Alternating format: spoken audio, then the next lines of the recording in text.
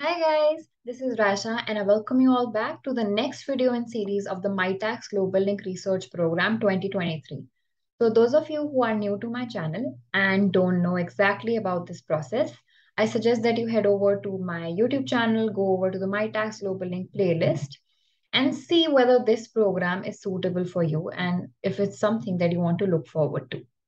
And also a footnote, I am a current Mitacs research intern at ETS Montreal, and my internship is almost uh, at the conclusion.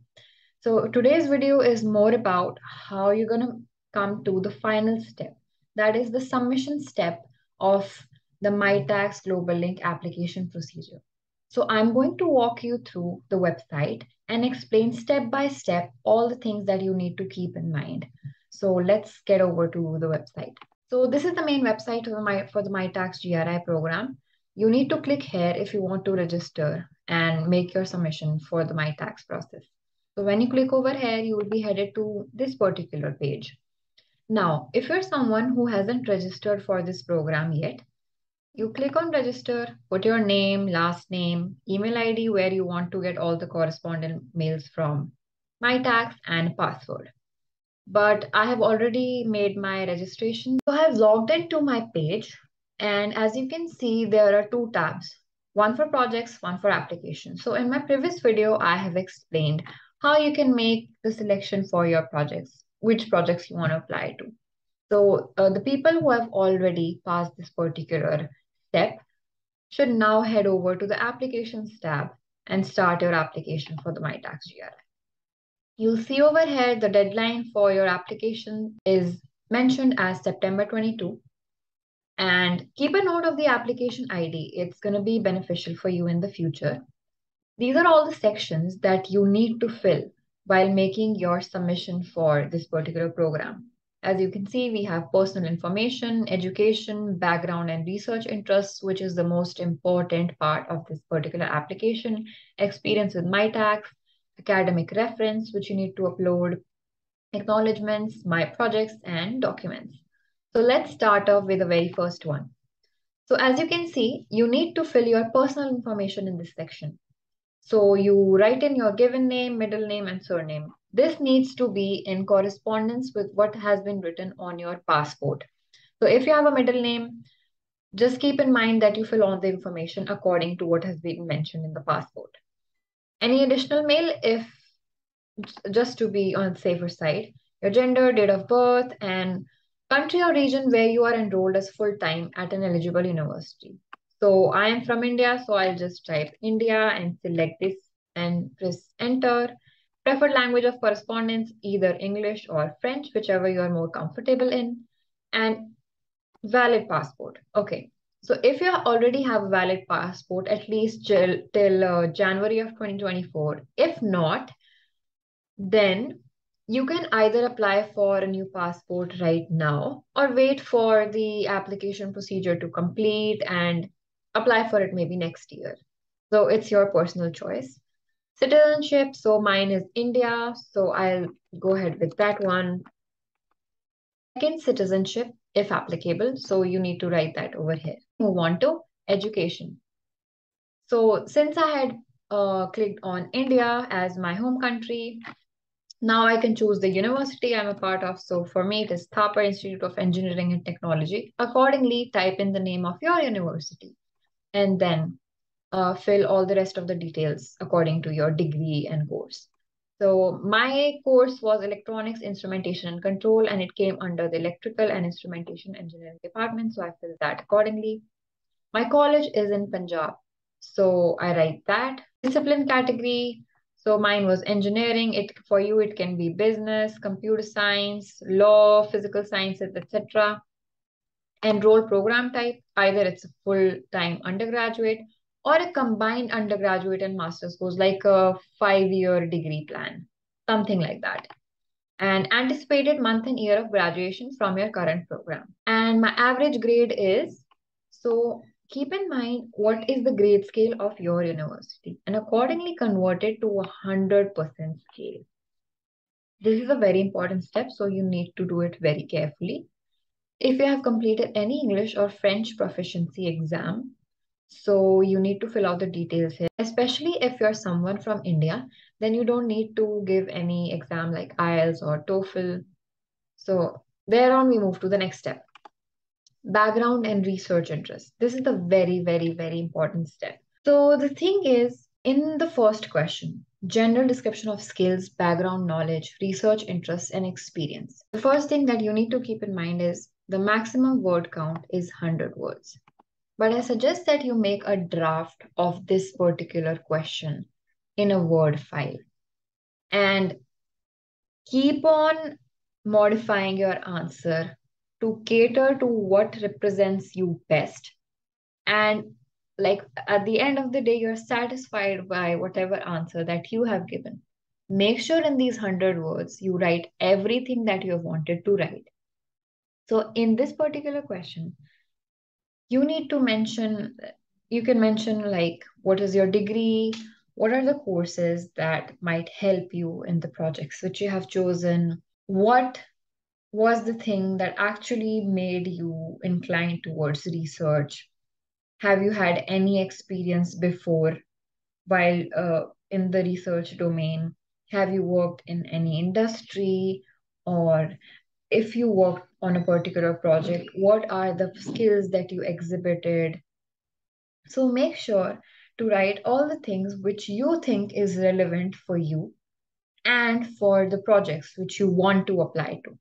So you need to be really true and honest while answering these questions because they will reflect your interest in the projects that you want to apply to because the professors are going to read these questions, the answers to these questions, and it will help in definitely in some way or the other in determining whether they select you for this project or not. The next question is notable achievements. So here you need to write all the things which you have achieved till now in your maybe in your school and college, all the awards that that you might have won or the participations which you have uh, made uh, or where you exhibited teamwork or is there any other thing which you feel can help showcase your um, like your prior interest to this particular research area? And if you have already done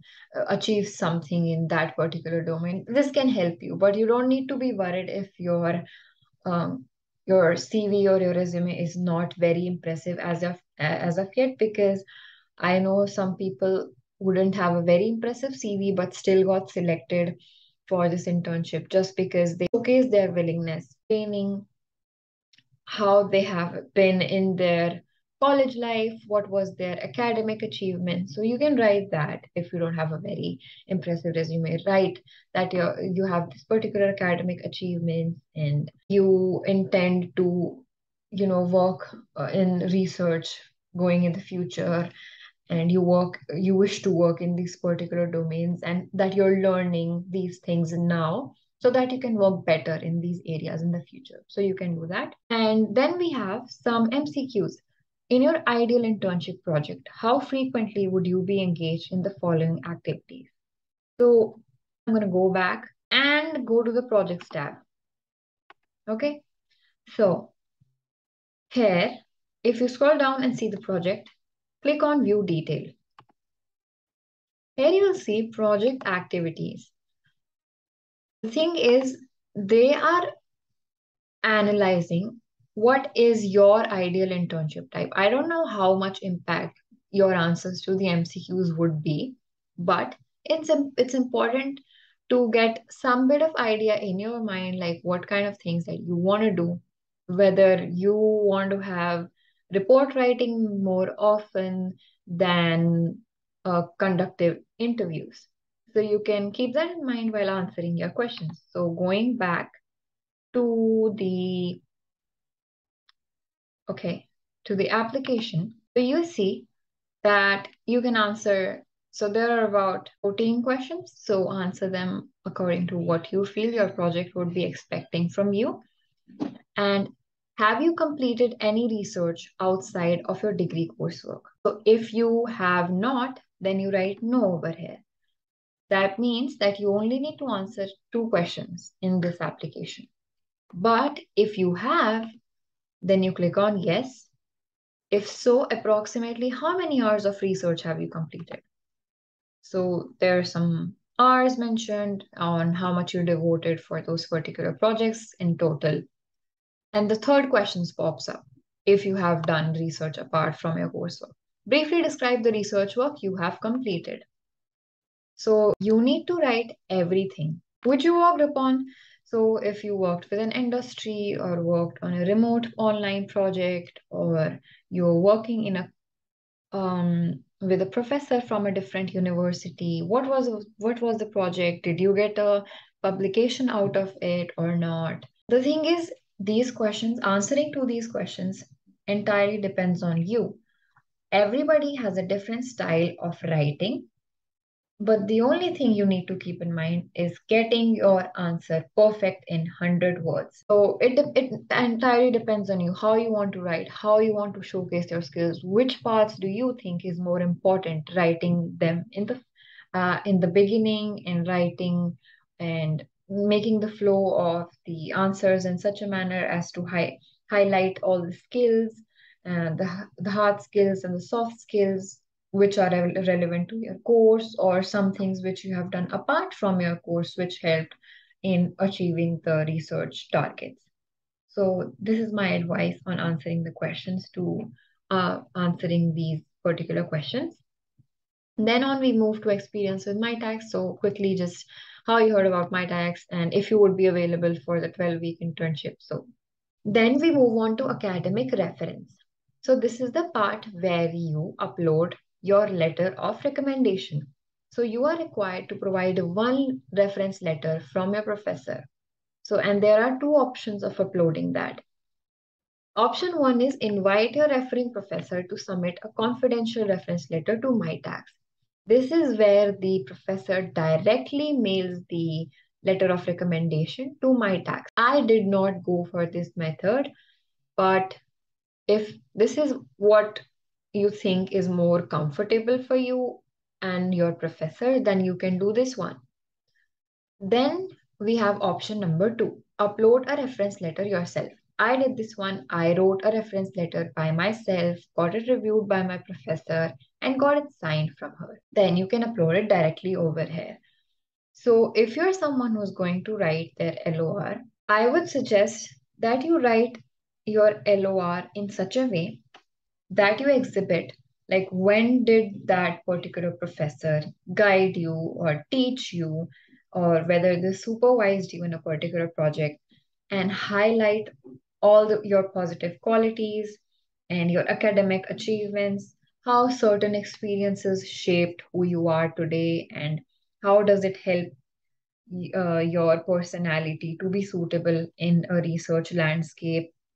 How did you perform in a team and how was your skills uh, led to any particular good result? So this is something you can do. And i also suggest you watch some more videos about how to prepare lors so that you can prepare a good one and get it signed from your professor. Then we move on to my projects. Okay so this is very important.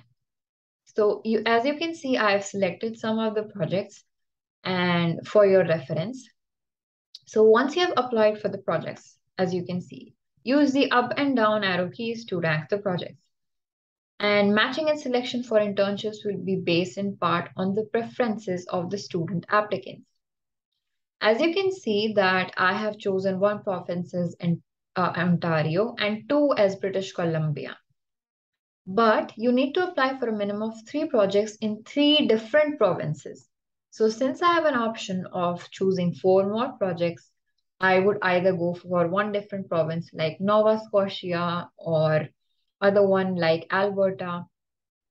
So it is important. So as you can see, I if I want to change the my ranking for the projects, so I can click on this arrow. I feel that I want to I want this particular project to be higher in comparison to the other projects. So I click on this one and this so, and then I click on confirm project list change so that this becomes final uh, and is saved on the Mitacs portal. So the thing is, uh, some of the students were asking me how the Mitacs matching process goes. So I found this uh, on their website. So what the thing is that the professor project proposals are submitted to Mitacs, reviewed and accepted. Then the applications from students are submitted to Mitacs. So they have the Mitacs team has a criteria based off on which they rank the students. And the list of possible matches is generated by combining the lists of professors submitted by all the students. And each match is weighted based on the student's score and ranking.